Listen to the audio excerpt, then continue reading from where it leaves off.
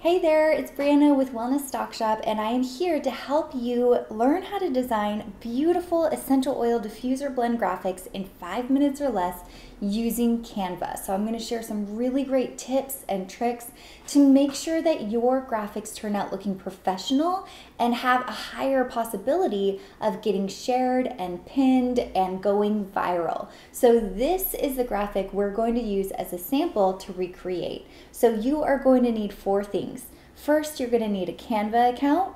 You're also going to need a beautiful photo. You're going to want to choose a blend theme. And also, you're going to want one to five essential oil diffuser recipes. So, in this photo, as you can see, I'm sharing five different recipes. Um, and that's a great number, but you can also choose to just share one. So, first of all, we will go over to Canva. When you sign into your Canva account, if you don't have a free account already, this is what it looks like. And we are going to be using the Pinterest graphic. So I've already started one over here. So you're going to want a beautiful photo. A stunning photo is absolutely essential in order to capture attention and get your photos shared. So I highly recommend Wellness Stock Shop as a photo source. We have thousands of essential oil photos that are generic and also doTERRA branded photos. So you can go check that out at wellnessstockshop.com. So we are going to be using this Wellness Stock Shop photo today. So you just want to make sure that your photo is big enough that it fits this template. So let's go back over to the main Canva area. So if we hover here, the Pinterest graphic is 735 by 1102 pixels. So you want to make sure that your photo graphic is larger than this um, so that it doesn't have to get stretched out and lose quality. You want high resolution.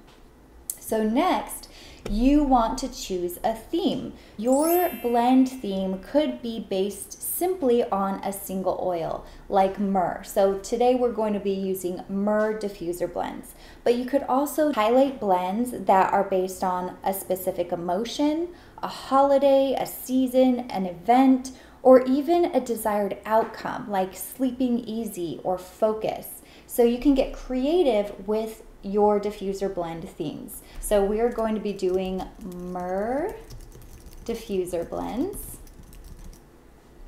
And you're going to want to choose a beautiful font for your heading. So we are going to use Bad Horse Script for this is what I chose. So this is kind of a fancy font. It just looks really beautiful. So one thing I want to share here is when I'm moving this around, see how there are these pink lines? There's this pink line that goes all the way around the photo. This is a really great indicator of where you should fit your fonts within. You want to make sure that you are heating the margin space and that's one key to good design is making sure that you're sticking within the margins. So Canva makes it super simple to do that. So now we want to actually plug in our diffuser blends. So I want to suggest to you that Pinterest is a great place to get inspiration for your diffuser blends. And I actually have a diffuser board that you can check out on Pinterest to give you tons of inspiration. I've already collected tons of different diffuser blends there just for you. So we're going to go ahead and copy this and bring it over here and then we're going to make this font a bit smaller. So let's go with 21 then we're just gonna go ahead and place this here. And then we're going to start with another font that is easier to read for our actual blend. So we're gonna say two drops frankincense, two drops wild orange. I've already scouted out these um, recipes so that I can just easily plug them in. So the font I've chosen for the diffuser blend recipe is Barlow Light and the reason why I don't use the fancy script is because it's hard to read. So fancy scripts are okay for headings and titles, but you want to make sure that your body script is easier to read. So here's Barlow Light. You can see how simple it is. And we're going to just go ahead and space it perfectly under there. So there we have our first diffuser blend recipe. Now I wanna make sure it's extra easy to read this text and I want it to stand out a little bit. So what I'm gonna do is I'm going to go ahead over to the elements and I am going to choose this circle here as a color overlay, which I'm going to put into the background behind the font to make it extra easy to read. So while I am doing this, I'm going to position it backwards.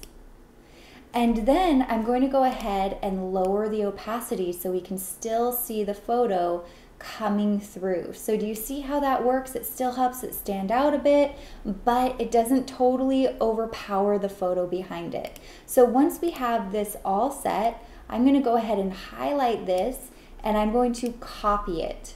And I can paste it in many different areas. So I'm gonna paste it over here, copy it again, paste it down here. It's okay to cover um, the photo a little bit. You just wanna make sure that you can still read the text.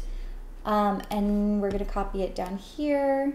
So you can just place these throughout and adjust them as necessary. So we're gonna go ahead now and just plug in all of the rest of our recipes. So there you have it. I went ahead and paused the video so that I could go ahead and finish those up. And here we are, we've got all of the diffuser blends plugged in. I can now highlight them and move them however I want to. Um, to make sure that they're exactly how I want them to look on this display, but it already looks so beautiful. So another couple of tips for you is you wanna be sure to choose a photo that's pretty simple. It has a pretty simple background. So you can see in this photo I chose, it's got lots of negative or white space. So I can easily add text without it being too overpowered or too busy looking. And my final tip for you is to add your logo or your business name or URL. So I will go ahead and add mine here, wellnessstockshop.com. And I will move it to the bottom here and what's awesome about this is then when you're sharing these recipes to Pinterest or wherever you're sharing them, these are also really great um, for SEO, search engine optimization um, because people are always searching for diffuser blends. And when you have these images out there, you can then have your website name down here. And so people are interested and can find you easily. You're getting your website name in front of them. This really helps with your brand recognition and just getting your business in front of more people. By the way, be sure to grab this Essential Oils Diffuser Blend graphic for free by clicking the link in the caption below this video. If this video is helpful, please be sure to give it a thumbs up and be sure to subscribe to my channel for more tips on how to grow your wellness business on social media and beyond.